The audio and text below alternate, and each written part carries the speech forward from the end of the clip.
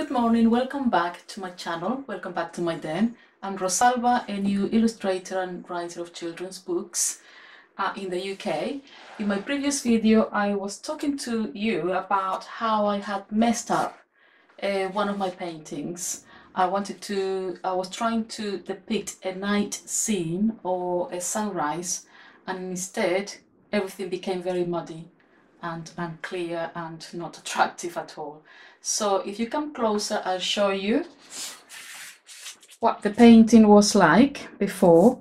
I was trying to um, show that um, these two creatures were arriving at a particular place and, um, and instead the background scene with them sort of they look as if they are in the same um, in the same place you don't really see dimensions you don't see the land far away. It's all very muddy and confusing.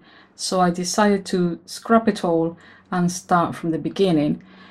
Um, so I'll show you what I came up with afterwards. I changed the scene a little bit so that I could show the distance like the perspective was better there or it's better. The trees I thought would point towards the land where they're heading to. And um, and then the characters are more have darker colors. It's almost like a silhouette but not quite. And um, and the foreground is really really dark again showing that transition of dark where the shade is uh, because the sun is rising from from here so all the shade or the shadows are on the foreground. Um, and then the light is, is coming here. Um, so I wasn't sure how to do that and one of the things I had to do was do some research. So I went on YouTube and came across a lovely artist called Jana Watercolors and I'll show you how he was painting. Hopefully it's quite clear.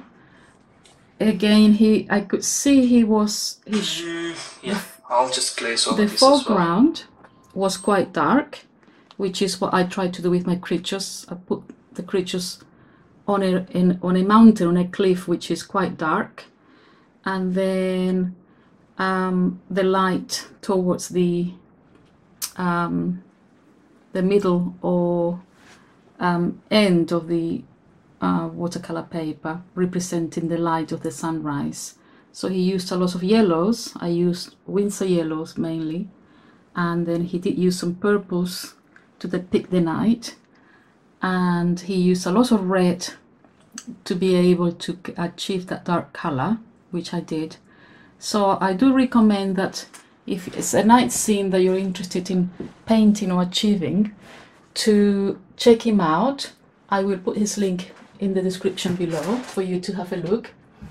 And um, and yes so that's how um, I achieved this. I hope that you would agree that this is much better a much better representation of what I was trying to achieve compared to this and um, and also you know hopefully you will see that we mustn't be afraid to discard a painting if it isn't working and then try a new one.